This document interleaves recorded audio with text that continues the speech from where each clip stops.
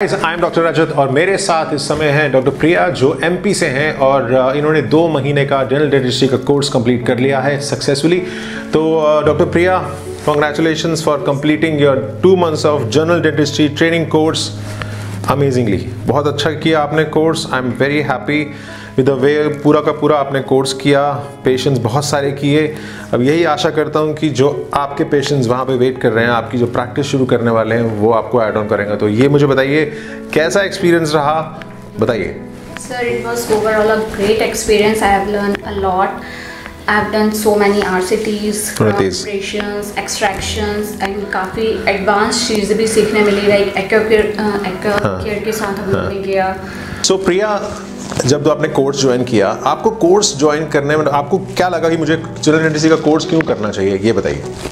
क्योंकि सर मतलब मैं कॉन्फिडेंट नहीं थी मैं किसी भी कोविड के कारण आई थिंक गैप आ गया था प्रैक्टिस में and you wanted to upgrade your okay Okay. जब मैं यहाँ आई तभी मैं काफ़ी स्कैर्ड थी बट डरी हुई थी शुरू में। धीरे धीरे जब पेशेंस किए जब यहाँ पे आई कॉन्फिडेंस मिला जब इंडिपेंडेंट आपने प्रैक्टिस शुरू की पेशेंट्स पे शुरू में हमने हैंड्स ऑन ट्रेनिंग दी मॉडल्स पे। उसके बाद फिर आपने uh, कुछ वाइवास दिए कॉन्फिडेंस आता गया और उसके बाद जब हमने पेशेंस किए तो आपको उसके बाद क्या फ़र्क लगा? Once you start doing your clinicals sir बहुत ज़्यादा फ़र्क लाइक मैं पहले पेशेंट से इंटरेक्ट भी नहीं कर पाती थी बहुत इजीली बट अब ऐसा है कि काफ़ी इजीली इंटरेक्ट भी कर पाती हूँ और कोई प्रोसीजर करती हूँ तो बोलते हैं ना कम्युनिकेशन इज़ द की वो बहुत इंपॉर्टेंट है। प्री क्लिनिकल्स ने तुम्हारे क्लिनिकल्स को हेल्प किया और हमने आपके क्लिनिकल्स को पॉलिश किया दैट्स इट तो कैसा रहा पूरा सिनेरियो क्लिनिक कैसा लगा आपको? और ट्रेनिंग पैटर्न कैसा लगा?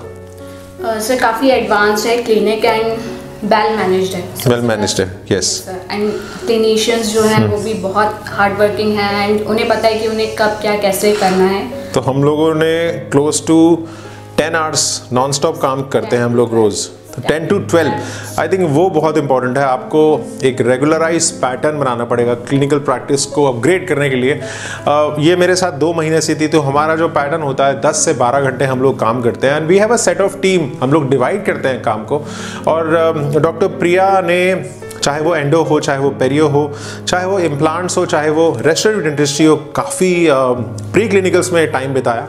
बहुत प्रैक्टिस की और उसके बाद सेम जो पैटर्न था, वो अपने पेशेंट्स पे एग्जीक्यूट किया।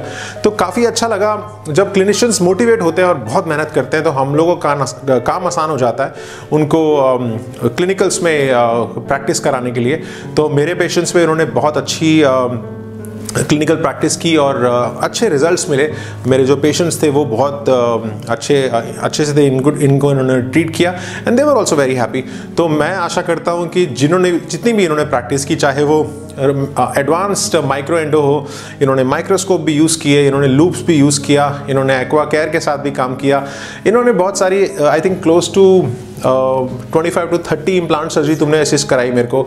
बहुत सारे हमने पेरियो फ्लैप्स किए एंडो भी किया और uh, बहुत सारी चीज़ें की। तो मैं यही चाहता हूँ कि जो भी तुमने यहाँ पे प्रैक्टिस की इस गुरुकुल में वही आप अपने क्लिनिक में एग्जीक्यूट करें अपने पेशेंट्स की लाइफ को चेंज करें और अपने क्लिनिक को चार चाँद लगा दें। Wish you very best all the best और सिर्फ़ और सिर्फ़ क्लिनिकल जर्नी को एंजॉय करना है।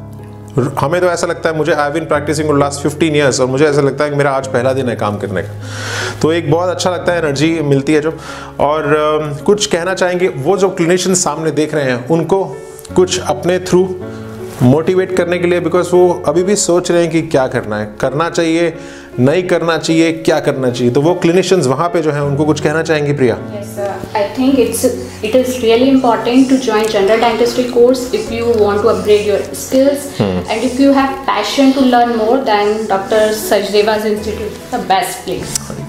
yes we are the best and हम लोग मेहनत करते हैं और हम लोग उसको एग्जीक्यूट करते हैं। आई थिंक वो एक बहुत इंपॉर्टेंट फैक्टर है। अगर आपको लगता है कि आपकी क्लिनिकल प्रैक्टिस में गैप आ चुका है, आपने बहुत टाइम से प्रैक्टिस नहीं की है कोविड के कारण आपकी प्रैक्टिस हिट हुई है, और आपको लगता है कि आपकी प्रैक्टिस में आपको कॉन्फिडेंस चाहिए तो आपको कॉन्टैक्ट करना पड़ेगा।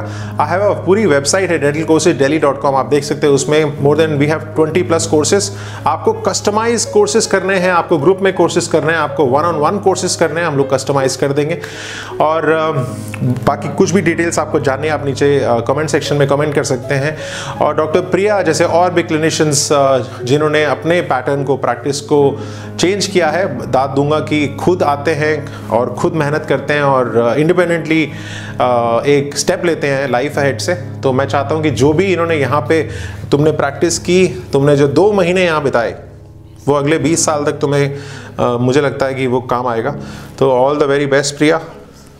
Do well I am always with you don't worry thank you take care thanks